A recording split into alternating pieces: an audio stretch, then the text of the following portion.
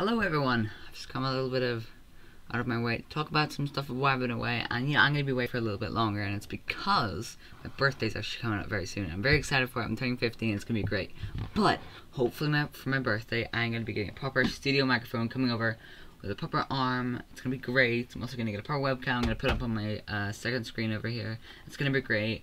It just means that the videos are gonna be proving that slight bit better. My audio is gonna be a little bit better and I won't have to reach over for my microphone every now and then.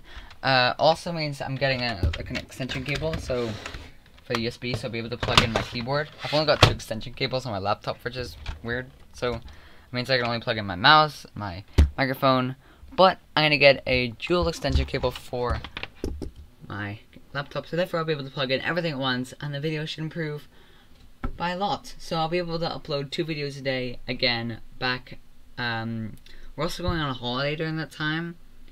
Uh, so what time will we be back? We'll be back at like, like the 20th of July maybe. Uh, maybe I'll record some videos while we're on holiday.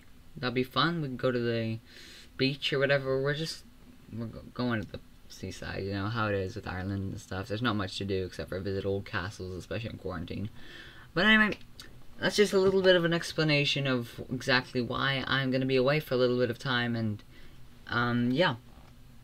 I probably won't even have time to edit a thumbnail for this because I'm in a bit of a rush. But anyway, yeah, there you go.